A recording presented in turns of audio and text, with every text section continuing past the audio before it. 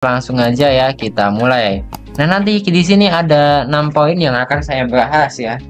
Dan yang pertama itu adalah apa itu do kolektor lapangan? Kenapa DC lapangan itu ditakuti? Ketiga, pengalaman orang yang ditadengi DC. Nah, kemudian hak dan kewajiban kita dan tips menghadapi DC lapangan dan persiapan menghadapi DC ya. Jadi ada banyak banget yang akan saya sharing-sharing di video kali ini. Sesuai konteks yaitu dekolektor lapangan pinjol.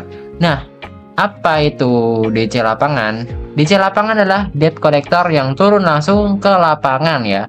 Turun langsung datangin kita ya, ke rumah kita ya, alamat kita, sesuai ya data yang kita isi ya buat nagih utang pinjaman online. Nah, mereka ini bukan cuma kirim pesan atau telepon, tapi beneran ya.